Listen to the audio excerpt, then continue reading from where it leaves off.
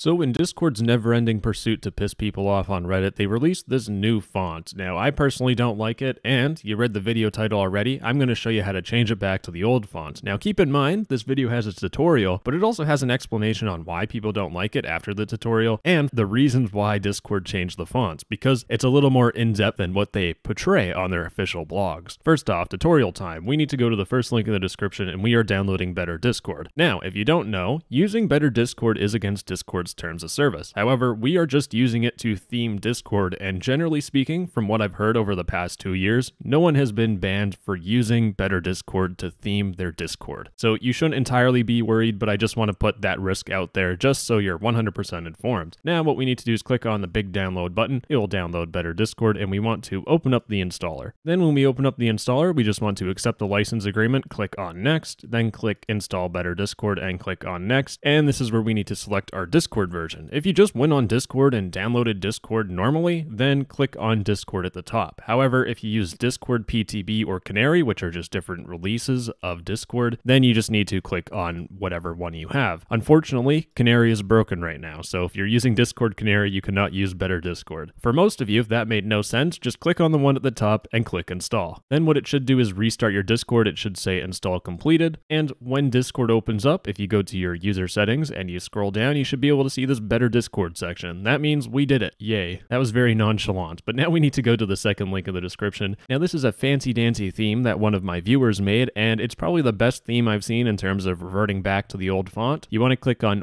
old discord. Then we just want to click on raw. Then once we click on raw, you should see all this text. Then all you need to do is right click, click save as, and you should see that we are saving old discord and the save as type is .css. If it's like all files or txt, just make sure it's .css. Then once you have that, click on save. Then it's pretty simple on what you need to do. I'm going to move my uh, my Chrome to this side, and then I'm going to have Better Discord on this side, and all I need to do is go into themes, open the themes folder. You'll notice I have a couple other themes. Yours should really be looking like this. Then when you open up the folder, it'll open up File Explorer somewhere, so just look for it, and you should see it's admin app data roaming Better Discord themes, and we just want to drag in the theme that we downloaded into the themes folder. And once we do that, we go into Discord, maximize this bad boy, you enable this theme, and Oh my goodness, the text is just so much better. But anyways, the old text is back. So that's how you get the old font back. Now, if you're on mobile or whatever, well, that sucks.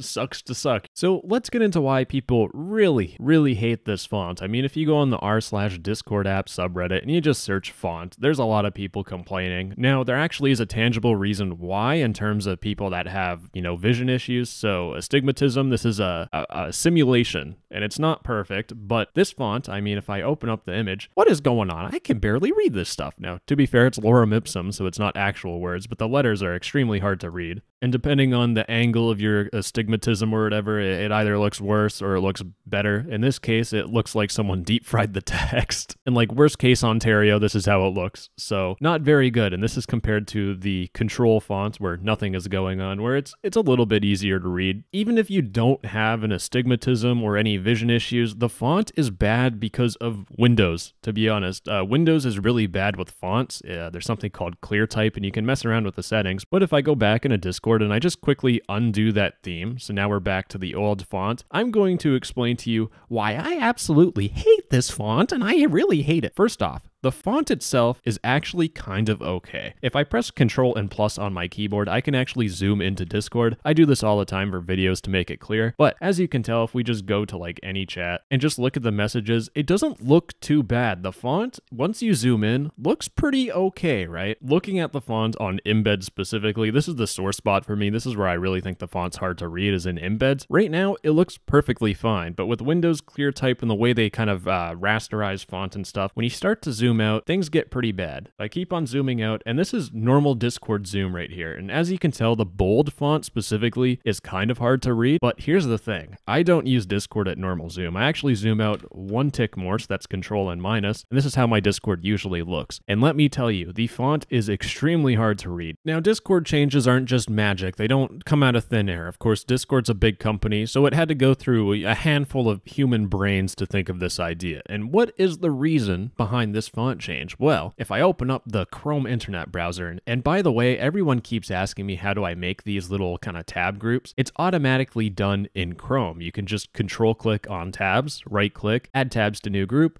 new group, name it whatever you want, choose a color, and kaboom, now you have tab groups. It's great. So, why did Discord even change this font, right? Well, if you go onto their little article page, this one is one of the stinker articles because, oh my gosh, let me just read this beautiful section. The meaning behind GG Sans. GG Sans highlights one of our favorite characters in our new typeface, the lowercase g. Yes, we named our font after a single letter that we thought looked good. Also, it's an ode to our gaming origins. GG is an abbreviation for good game, if you didn't know, and is frequently used on our platform. It's also baked into the foundation of our company, using discord.gg in any of our shared links. If you couldn't tell, this is Discord explaining to their corporate or whatever investors or whatever's going on that we made this font because it's cool gamer font. But anyways, let's go to the FAQ because of course the FAQ must have something important. Uh, what do I need to do to get the new font? That's really just a whole lot of crap. Uh, they're missing the question on how do I get back the old font. But our second question here, can I use the custom font for my own projects? And the answer is GG Sans is not currently an open source font, so you're not able to use it at this time. Now, what this question indicates, and also this whole entire blog article, is that Discord made this font. They own this font for their own platform. So, why would Discord either hire some company or hire someone in Discord to make this whole font so that everyone could hate it and crap on it on Reddit? Well, it's because the old font, Whitney, is not a font you can use for free. There are fonts on the internet where they're open source, you can use them for anything, but Whitney is one of those fonts where you just have to pay regardless. Will this website get upset that I showed the Whitney font without having a license for it? I don't know, okay? But I want to make it clear that this font you need to pay for. This raises the question how much does Discord pay? And I'm going to be honest here, my math is uh, crap at best. It is just a full on guess. It's just to get a ballpark on how much Discord probably or might be spending on this font and the reason why they changed it. So, Discord is a website and it's also an application. However, for the application, I need to email this website, and if I email them, they'll probably tell me to piss off and I don't feel like getting yelled at today, so I'm going to go through the websites portion. Now, for this websites part, there's two different options. Now, I'm not entirely sure what Discord is using. I'm just going to assume that it is self-hosted because we also have different pricing plans for how many page views, and this is where the math starts to go a little off track here. We're assuming it's self-hosted, and the way that this works is that you have to pay certain amount of money a year. On the left here, it says subscriptions start at $200 a year for 250,000 monthly page views. So, the more people you have visiting your website, the more you need to pay. And if you didn't know, Discord has a lot of people visiting its website. Discord in 2021 has had over 140 million